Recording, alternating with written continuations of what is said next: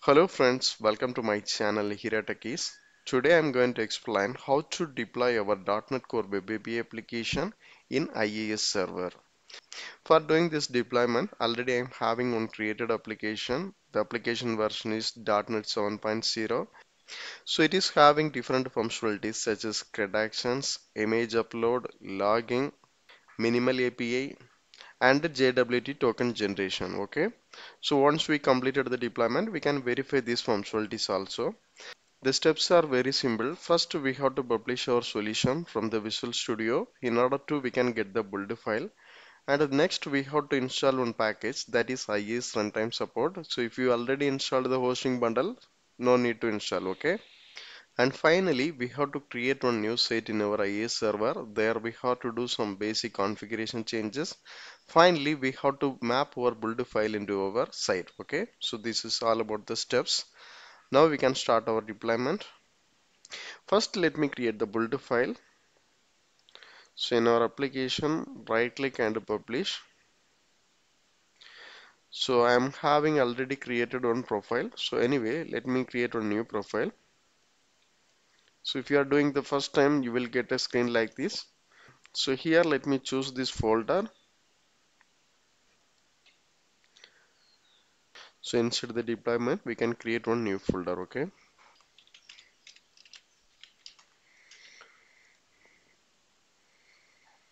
And let me click this finish.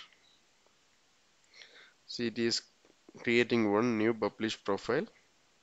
So we can close this one and then click uh, show all settings. And here just click delete all existing files prior to publish. Because so if you are doing the publish the first time it is fine. So the second time obviously we have to overwrite the files okay? So that's what we are clicking this option. Now let me click this save. And other items are fine. This configuration release target framework 7.0 the deployment mode and the target runtime. So if you want change based on your requirement you have to change accordingly okay? Now let me click this save. Now let me trigger our publish. So basically it will take some time and it will generate the build file. So meanwhile we can go to our IIS server. So in this IIS server in the site section. Just right click and add website. First we have to provide our site name. So let me provide my API and then physical path. We have to choose our deployment path here. So here we can choose this LAN API and in this binding side I am using this HTTP only. So then this port the default value 8 is showing. I believe it is working in some other sites so let me change this into 86 and finally we can click OK. So once it is done just go to this application pools so there we can see our newly created application pool my API and right click basic settings. So there this .NET CLR version. Since this is the .NET Core application change this into no managed code. So if you are using any version of .NET Core this is the common step only. You don't choose this .NET CLR version. So we have to choose this no managed code okay? Now let me click OK. Okay the publish also completed. We can see this text okay? Now let me check our deployment path. So inside this LAN API we have all the files okay? Next in our IIS server we can refresh this one. And also I'm just restarting. We can browse this URL okay we got a response like this. Okay we are getting this 404 error. So let me duplicate this page. So instead of this swagger I'm going to use our minimal API URL so it is returning the response okay so that means we successfully completed our deployment but in our swagger is not working So the reason is when we created the application, we have the default configuration for our Swagger, okay? So if you checked in our program.cs file, so they enabled this Swagger for only the development. Okay, now we are hosted in the IIS server. So there the environment may be different, so that we can check later. So before that, we can completely enable this Swagger, okay? For that, let me comment this section. Let me publish once again. Just right click and publish. So already we have this profile, then no need to create once again. So just to click this publish. Now it is not going to take much time. Okay, the publish is completed. Now let me go back to our IIS server. I'm just uh, refreshing this one and we can stop and start once again. Now let me refresh this one. See now it is working. So 86 is our base URL and after that if you provide swagger it will redirect into swagger slash index.html page. So there we can see all of our methods okay. First we can start from this basic methods okay. There is no logic involved. So this is simply returning the string value that is fine and we can pass some parameters okay this one also working fine and now trying to fetch the customer okay we are getting this 500 internal server error but actually this function worked fine in our local okay? For getting more details we can check our log file. For the log file we can get from our log path. So that actually we have defined in our app.settings so it is available in this path only. So this is my log path.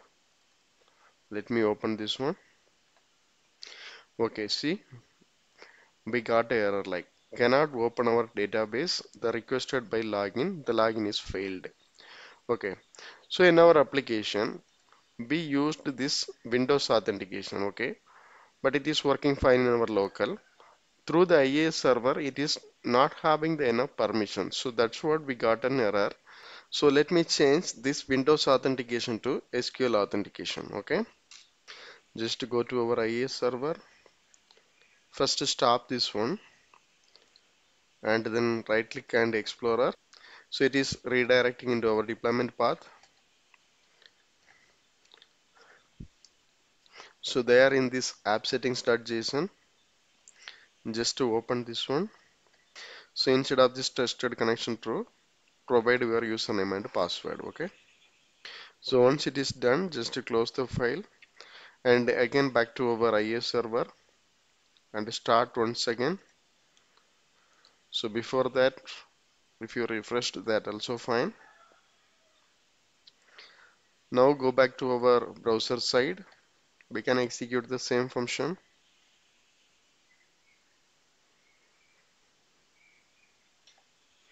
It is working fine okay? So now our database connection also fine and we verified the log and we have verified some of the basic methods okay so now I am trying to generate one token.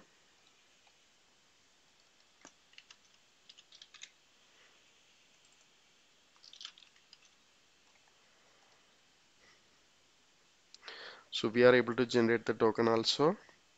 And the finally very important thing is upload functionality. So we can go back to our product. Here I am trying to upload the single file maybe I can provide the product code is 001 I'm choosing this one this bar. So let me execute this one. So we got the 200 response. So next we can get the same image providing the same product code. So we got our image URL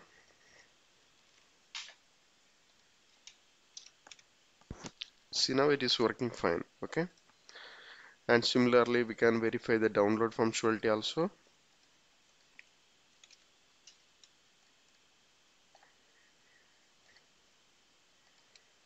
See we are able to download the same file. And finally we can remove this one. 001 so once it is downloaded again I am trying to click this get image. I am getting the 404 error because it's already removed okay? Similarly we can check the multiple file upload. 002 I am provided as the product code. I am uploading this bat.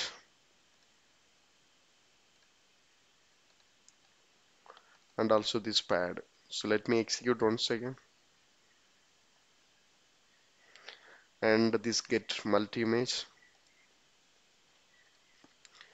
002 so we are getting these two image URLs. The first one is for bat and the second one is for the ball. So bat is working fine and also our ball is working fine. Okay wait is not working. Let me verify it's not on ball actually a pad. Okay. So the upload functionality also working fine.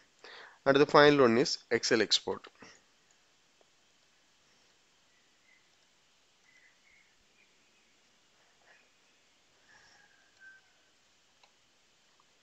So downloaded the excel file okay the excel file also working fine.